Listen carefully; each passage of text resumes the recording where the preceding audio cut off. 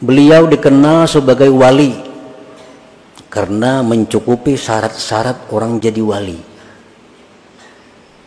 Dan karamat-karamat beliau itu banyak sekali kada bisa dihitung.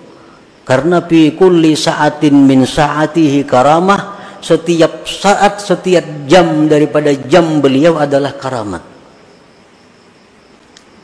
beliau mundar mandir ke Sidratul Muntaha sampai 70 kali sehari Sidratul Muntaha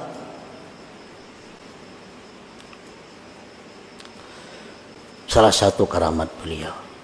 Namun ada keramat yang paling istimewa dari beliau. Yang keramat ini tidak dimiliki oleh wali-wali yang lain. Yaitu adalah banyaknya aulia-aulia yang berasal dari keturunan